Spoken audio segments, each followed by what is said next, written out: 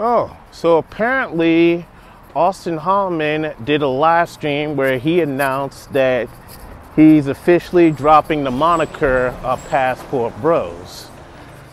So what does this mean? Is Auston Holleman going to rebrand himself? I really don't know because I didn't watch the live stream and two, he removed the live stream. So I wonder why he did. Did he change his mind about not being a passport bro? I don't know again.